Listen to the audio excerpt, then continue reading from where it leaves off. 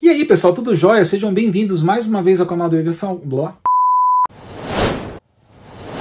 E aí pessoal, tudo jóia? Sejam bem-vindos mais uma vez ao canal DB Falcão. O meu nome é Daniel. É isso aí galera, hoje eu tô tentando mais uma vez fazer um vídeo um pouco mais despojado, um pouco mais descompromissado assim em matéria de formato, que é legal pra gente dar uma variada galera. E é o seguinte, hoje eu vou falar mais uma vez sobre um cartucho para MSX galera. Eu tinha dado um spoiler no meu vídeo anterior, quando eu falei daquele cartucho completíssimo, Carnivore 2, que ele reúne praticamente todas as funcionalidades aí do MSX, som SCC, som FM, Maper, Sofaram, jogos, Everdrive, tudo num cartucho só. E eu disse lá que eu ia mostrar no próximo vídeo um outro cartucho que eu comprei, galera. Também comprei do Cristiano, aquele vendedor lá do Mercado Livre, que também o conteúdo dele é de código aberto, qualquer um pode fazer. E eu confesso, galera, que eu fui atrás desse cartucho só para poder tentar rodar o Ghost Goblins no MSX. E não é um MSX poderoso, não, tipo 2, Turbo R, 2 Plus. Esse jogo especificamente pode ser rodado no nosso MSX1, o nosso MSX, por exemplo, do Brasil, aqui o Expert Gradiente o nosso Hotbit da Sharp, que dessa vez eu escolhi para fazer o vídeo aqui. Deixa eu mostrar para vocês aqui então o cartucho. Ó. O cartucho é esse aqui, galera. Aí, ó. O TRH 9000 é o cartucho aí feito pelo Cristiano, galera. Eu tô deixando mais uma vez os links da descrição do anúncio. O anúncio já tá pausado, não tem nenhuma unidade mais disponível, mas é sempre bom vocês ficarem ligados lá na lojinha dele que ele de vez em quando começa a fabricar mais. Não é barato, mas vale a pena, pessoal. Esse cartucho aqui funciona como se fosse uma placa de vídeo, tá até a fotinha aqui, um desenho de uma placa de vídeo baseado no famoso Yamaha V9990. A Yamaha fez alguns chips gráficos que saíram aí para os MSX. A gente teve o 9938, depois o 9958 e a gente tem esse 9990 da Yamaha que aparentemente nunca foi lançado em nenhum, nunca foi colocado em nenhum computador MSX. Mas então existe alguns cartuchos como esse TRH 9000 aqui do Cristiano que cumprem a função dele e você pode colocar ali no seu MSX você vai ter uma qualidade qualidade gráfica de jogos assim fantástica. Então tem toda uma biblioteca de jogos que suportam essa placa aqui e um deles, galera, é o nosso amado Ghosting Goblins. Quem diria que eles iam fazer um Ghosting Goblins para MSX? Quando eu fiquei sabendo, eu fiquei louco, claro. E eu fui atrás desse cartucho aqui. Confesso que 90% da minha vontade de comprar esse cartucho se resumiu ao fato dele rodar o Ghosting Goblins. E vocês vão ver daqui a pouco que essa versão ficou muito legal. Na verdade, essa versão foi feita por um espanhol, parece, pessoal, de codinome Assembler ele tem Twitter, né? Agora é o X, e foi ele que fez essa adaptação do Ghost Goblins para rodar no MSX usando esse cartucho aqui. E aí a gente já tá com o nosso Hotbit lindo aqui da massa, pessoal, um produto nacional aqui o nosso Hotbit, e a gente vai fazer a demonstração com ele, galera. Eu ainda não consegui fazer rodar os outros jogos que utilizam dessa placa, desse cartucho aqui, porque a maioria dos jogos são para MSX2, MSX2 Plus e Turbo R. Mas o nosso Ghost Goblins roda aqui no nosso MSX1, quem diria? Mas aí é o seguinte, pessoal, para fazer funcionar não é uma tarefa fácil, confesso. É algo assim que dá muito trabalho, é mais fácil você pegar o Ghosting Goblins ali no emulador e jogar. Mas tem todo aquele lado do desafio, da emoção de você montar tudo, configurar e rodar o jogo. Eu acho que só isso já vale a pena, já dá ali um sentimento de satisfação pra gente. Mas então vamos lá, galera. O que a gente vai fazer então? Esse cartucho aqui, vocês veem que ele tem adaptado aqui uma saída RGB, que eu vou ligar aqui neste monitor aqui, pessoal. E aí, esse cartucho aqui, que eu já conhecido por vocês como Carnivore 2, nós temos que colocá-lo também, porque aqui é que está a ROM do Ghosting Goblins, já consegui a ROM do Ghosting Goblins, e aí eu tenho que fazer a imagem do MSX e para outro monitor, então eu vou ligar na TV aqui do nosso Relâmpago Marquinho, então para vocês verem como é complicado, eu tenho que ligar dois monitores para poder fazer rodar o jogo, então vamos lá, o que, que eu vou fazer aqui? Eu vou ligar então o cartucho, ó, tudo ao vivo aqui com vocês, vou ligar aqui no slot 1, o cartucho aqui do TRH9000, colocar aqui, Opa, entrou. Vou colocar aqui o meu cabo RGB, VGA, não sei o nome desse negócio aqui, eu sempre esqueço, tá? Me corrijam aí nos comentários se eu estiver falando errado. Vamos pegar o nosso Carnivore, vamos colocar no slot 2 aqui do meu Hotbit, que eu já tirei a tampinha, vou colocar aqui, aí entrou. E vou colocar aqui o som, lembra aqueles Carnivore, quem viu o vídeo anterior? Ele tem uma saidinha de áudio aqui, ó, vou colocar aqui e vai sair aqui na nossa JBL. Então vamos lá, o nosso chip gráfico aqui do TRH9000 tá ligado neste monitor e o Hotbit aqui está ligado com cabo AV na TV aqui do Relâmpago Marquinho.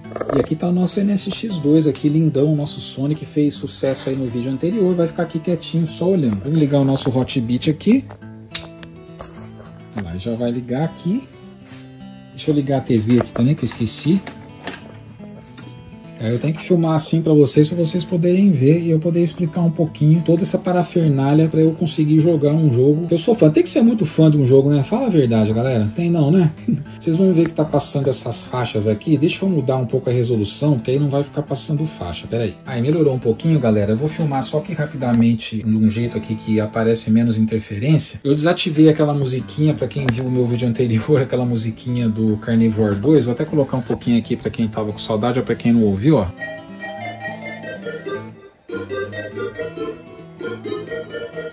Beleza, deixa eu desligar. Então aí galera, é o seguinte, aqui tá saindo então a imagem do Hotbit, já tá aqui na interface do Carnivore 2, e aqui ó, fica essa tela em branco, que é a tela que está sendo gerada pelo TRH9000. Então ele fica branco e só vai ser acionado quando tiver um jogo. Então vamos lá, o jogo já tá ali, ó, deixa eu mostrar para vocês, já coloquei na lista aqui ó, Ghost Goblins, tá lá bonitão. Então o que, que eu vou fazer? Eu vou aqui no nosso Hotbit, vou selecionar aqui ó, olha lá, tá lá indo lá, chegar mais perto para vocês verem. E vou colocar aqui Ghost Goblins, ó. Dá um espaço. Opa.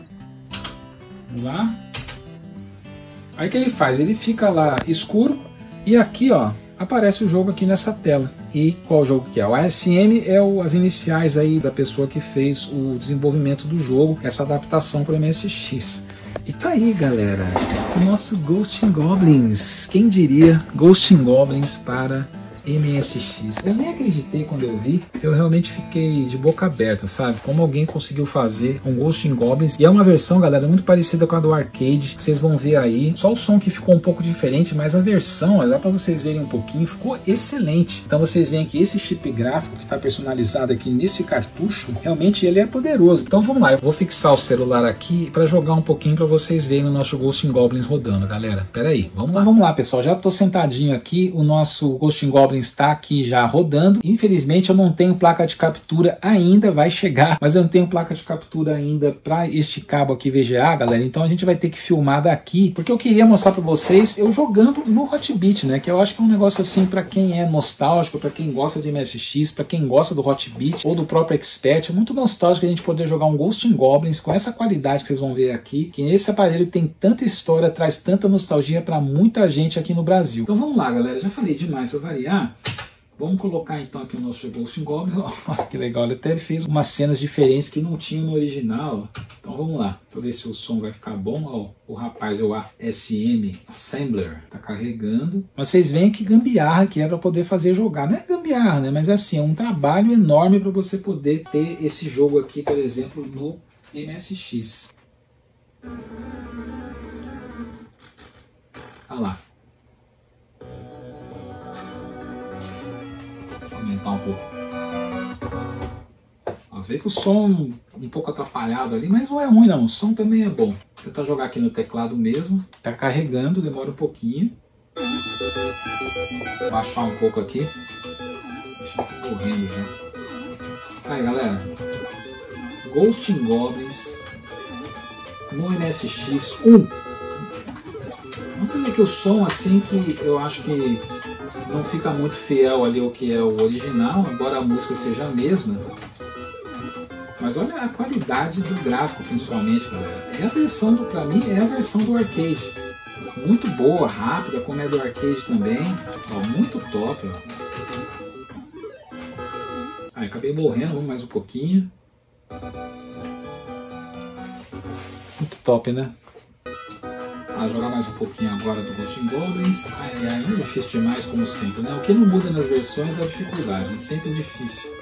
Ah, pessoal, lembrando que essa versão aqui é de 2020, viu? Até que é bem recente, né? Então, uns 4 aninhos a versão aí do Ghost Goblins pro MSX. Mas, novamente, a gente tem que enaltecer, né? Como é que consegue fazer um jogo desse rodar no MSX 1.0 tudo bem que o cartucho aí tá fazendo praticamente o trabalho todo, né?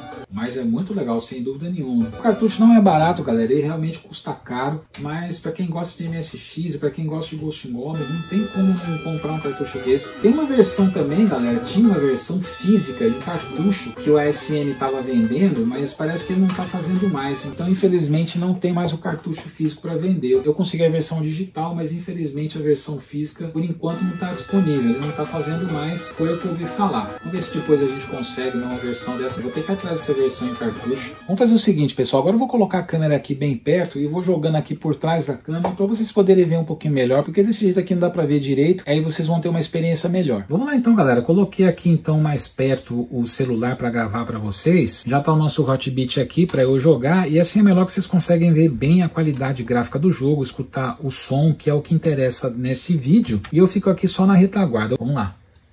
Essa arte ficou muito legal do Arthur ali com a sua amada, no cemitério, muito top. É muito igual a do arcade, né? O gráfico é muito parecido mesmo. Eu sempre tomo como referência, galera, o Nintendinho. O Nintendinho tinha uma capacidade técnica gráfica similar, nossa, já comecei morrendo, a do MSX, né? E a, por isso que eu tomo como referência, porque tem Ghost Goblins no Nintendinho, que não dá nem para comparar com a do arcade e portanto com essa daqui, né? para vocês verem o poder desse chip gráfico V99000 aqui da Yamaha. Lembrando sempre que ele está rodando no MSX1, galera. Vamos lá, eu de cuequinha aqui, não sei se vou chegar muito longe, mas vamos lá. O que vocês estão achando? Curtindo? Ficou muito bom, né? Vamos ver se consigo matar o nosso amiguinho aqui. Ele me der uns rasantes, eu tô ferrado. Aí. não deu outra. Ah, não.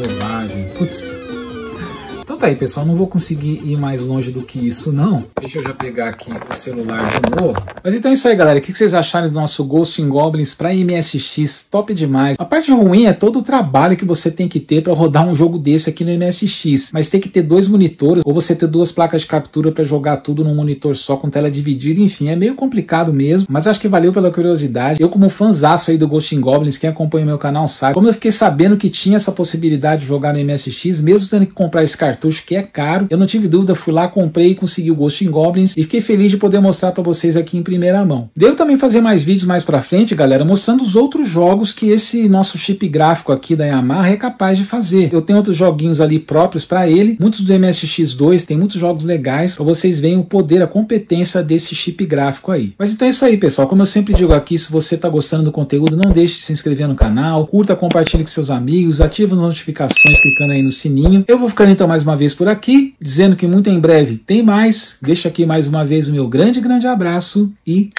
até mais.